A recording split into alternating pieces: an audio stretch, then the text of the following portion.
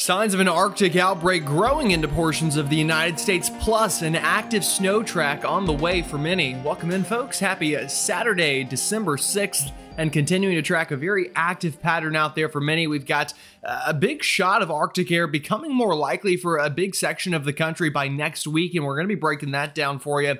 Also, have my eyes on a very active track of atmospheric energy that is going to bring continued snow chances, and we're going to try to fill in the gaps for folks that have not seen snow yet this winter. I think some new folks could try to get in on the action uh, here over the next 10 days or so. I'll show you why in today's video. But if you're new to the channel, welcome. My name is Gerald. I'm a meteorologist at WCCB Charlotte. If you haven't already, go ahead and like the video, subscribe, and hit the bell for the latest notifications. We're on the road to 60,000. We're not that far. So uh, if you watch the videos regularly and you're not subscribed, just go ahead and do it. It's free. It doesn't cost you a penny. All it does is help me continue running this channel uh, for free like I currently do and giving you all of the uh, free weather knowledge that uh, you can get here at your fingertips every day with YouTube. All right, let's dive right on into it and give you the latest. We'll start with what's next to me, and everything is brand new, hot off the press data here coming in from our afternoon computer models. This is the European Ensembles and one of our more reliable tools that we use for uh, really forecasting any type of weather, but especially winter weather and snowfall.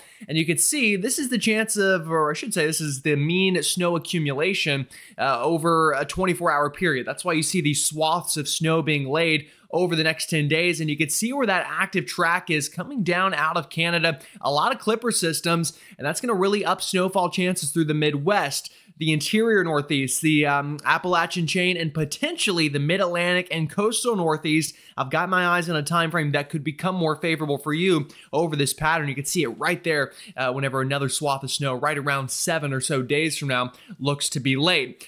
It's not just that, folks. Uh, we've got a very big piece of upper level energy in the atmosphere that looks to dive down. You see the good old snow miser colors here on your map. This is by next week, and watch this come down out of Canada. You get one little shot of cold air there in blue, and then a bigger shot of cold air showing up on uh, a lot of our computer data today, and that's all of those pink and uh, purplish colors. That's Arctic air spilling into the eastern United States, as shown here by the afternoon European ensembles, and this becoming a higher likelihood to occur. With that, you're also going to uh, obviously bring in very cold temperatures. So check it out on the European run. We've got one shot of uh, cold air working in. These are temperature anomalies, so the blue and purplish colors, those are uh, how below average the temperatures are, and you can see some numbers in here as early as Monday, 20 to 30 degrees cooler than we should be this time of year into portions of the Ohio Valley and Northeast.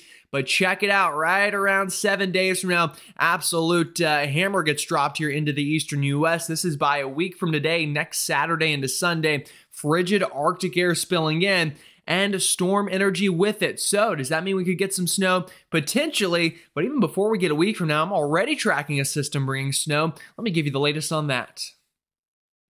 Well, while a lot of folks are looking into the future for snow, we've got some snow out there right now. If you're up into Iowa, northern Illinois, Indiana, southern Wisconsin, much of the Midwest and the interior Northeast, you've got snow on the way as early as now through tomorrow. And then also watching a sneaky little setup for some snow into North Carolina and Virginia. Let me show it to you. So here's that first piece of energy, a classic Alberta Clipper diving down out of, yeah, you guessed it, Alberta, low pressure beginning to form and throwing back moisture into this already uh, very cold boundary we have kind of draped across the country, kind of around this line or so. Anything to the south is a bit warmer, anything to the north is quite cold, and uh, we're already feeling that Arctic chill with or without that next blast to come that we've been alluding to.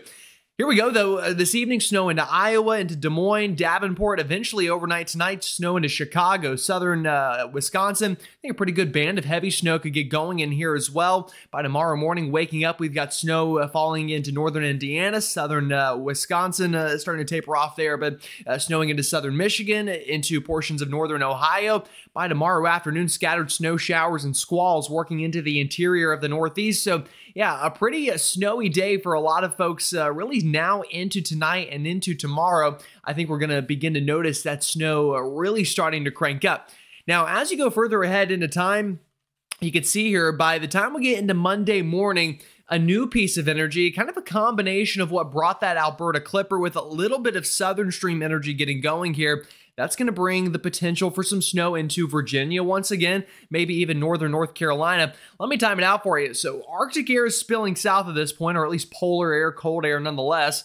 And uh, here's some of that uh, energy working in. Looks like all rain here Monday morning, or just some light scatter rain into Charlotte, Greensboro, Greenville, Spartanburg, Raleigh, much of South Carolina. But notice some overlapping and some combination of that energy getting going with this coastal low and a short wave here into the mid levels.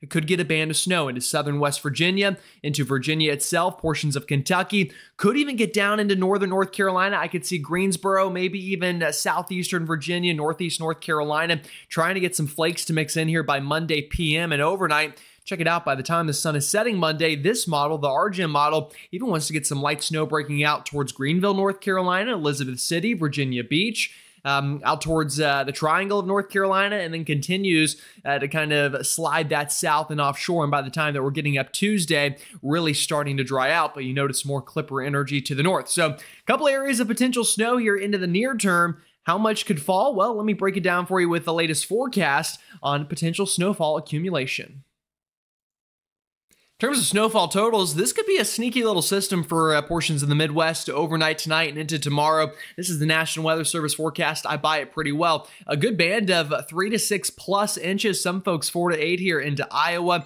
uh, and even into northern Illinois. So while not a blockbuster storm, especially for this part of the country, a nice little clipper that's going to continue to keep the snow uh, or the uh, ground white, I should say. And the longer we keep getting these and uh, the deeper we get into December with more shots of cold air, very well could be looking at a white Christmas up into this part of the country, at least in terms of snowfall on the ground. Obviously, we'll see if it's flying by Christmas, but nonetheless, a nice swath of snow. Chicago, probably around uh, three to five inches of snow, and then the highest total is going to be back into Iowa. Uh, but even southern Michigan, a good one to three inches out of this could clip even into northern Indiana and northern Ohio with some accumulating snow before all is said and done. Same system going to work into the interior Northeast, uh, upstate New York, into the Tug Hill, into uh, the Adirondacks. Uh, a good two to four plus inches out of this. That could even get into northern uh, Vermont, northern New Hampshire, and into the heart of Maine over the next 48 hours, and even some snow out towards Buffalo and Erie. Once again, no snow for the I 95 out of this event, but again, like I said, don't go anywhere if you're watching from that part of the country. I'm going to talk about you here in just a moment towards the end of the video. What about further south? Now, I showed you that model earlier that looked uh, mighty good for portions of the mid Atlantic with some potential snow. It's not a slam dunk, though. It's a bit of a tricky forecast here. So I think for now, out into this part of the country, let's look at the probabilistic forecast, meaning what are the odds snow even flies in the first place? Well, this is the chance of just seeing some snowfall, basically, that maybe tries to stick to the grass pretty good up towards Galax and into Boone, uh, into Mount Airy, towards uh, the Danville area. Those uh, regions running about a 50 to 60% chance of seeing accumulating snowfall out of this system. Uh, but uh, even up into southern uh, portions of West Virginia, pretty good chance of snow. Back into Kentucky could get some snow out of this. Where it gets a little bit more tricky is the triad into Raleigh, into Emporia, back out towards Virginia Beach and Elizabeth City. That's where this has a bit of a boom and a bust ceiling. The floor is absolutely nothing happens at all, but there is a world where you could get some accumulating snow. If you look at the chance of getting an inch of snow out of this event, I'll change our graphic here to show uh, the probability of an inch of snow falling becomes much more isolated here to the higher terrains, the high country, Ashe, Watauga, Avery County, into North Carolina, towards Galax, Pulaski, into Roanoke, and uh, Bluefield, that general region.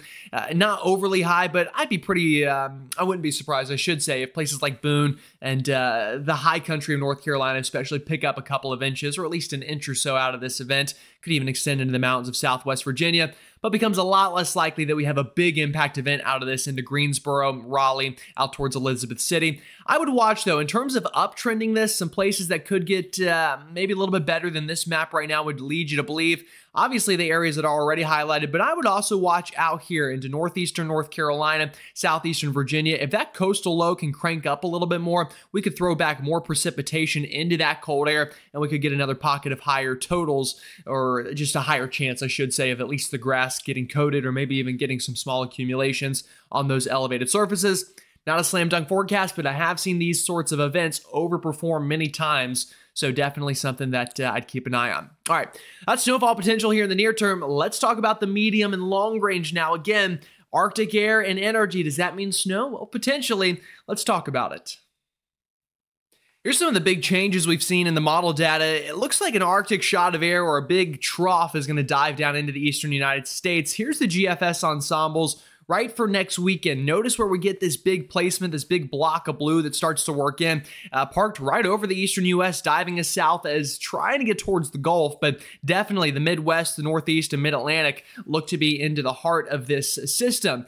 As that's happening, we've got a bit of a ridge spiking up here into, I guess I should probably draw that with an actual ridge symbol, which would be a zigzag. There you go, zigzag arrow, even better. We've got a ridge spiking out west. You've also got a bit of a ridge up in here into Alaska. You've got a very small, weak ridge into Greenland.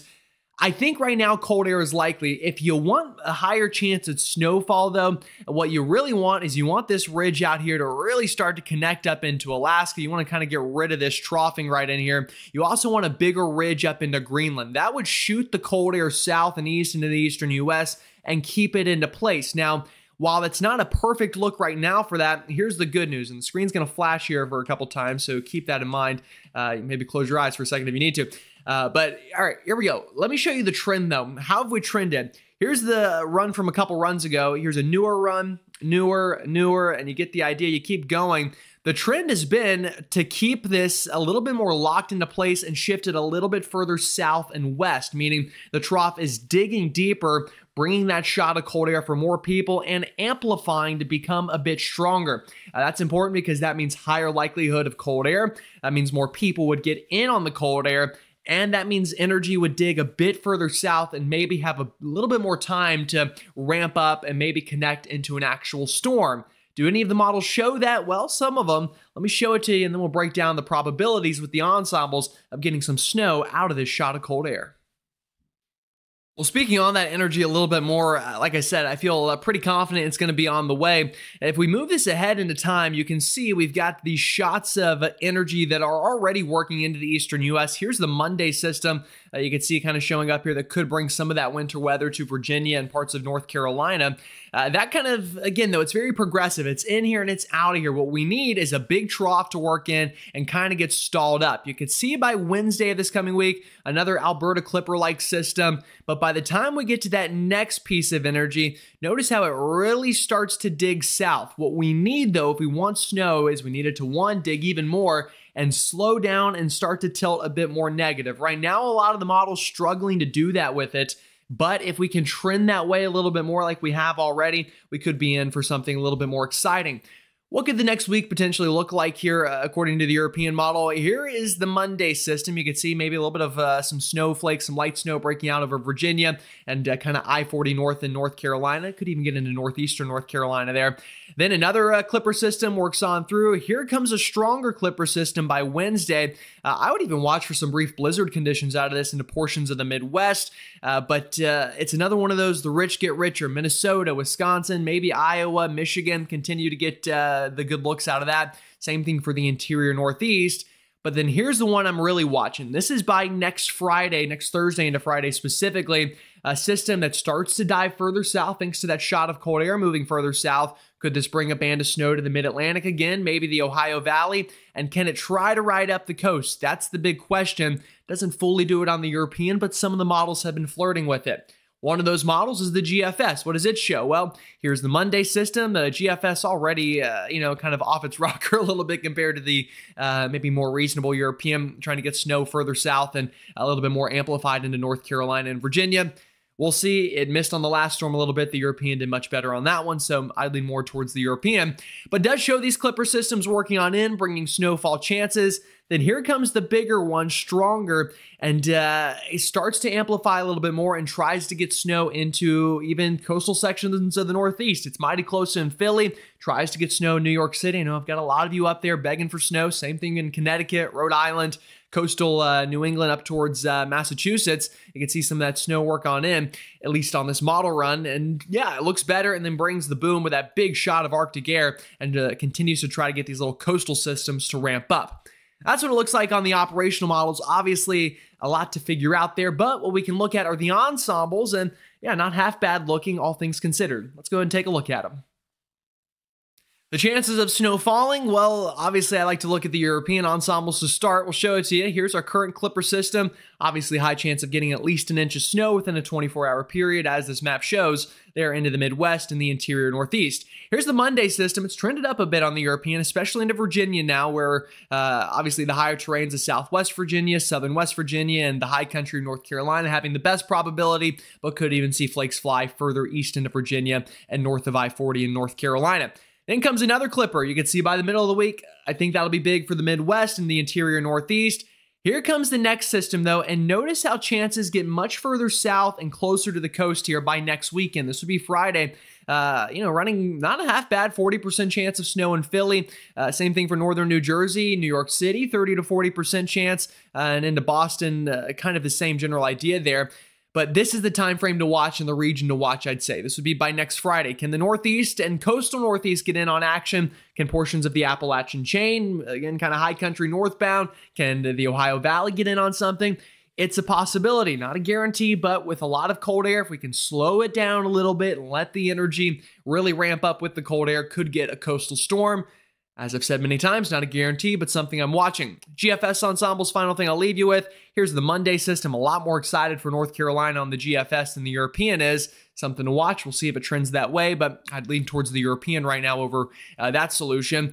Uh, here comes the Clipper midweek. Like I said, it'll likely bring some snow. And then here comes next weekend. Notice a lot more people get in on the chance at least, but plenty to iron out here in the details.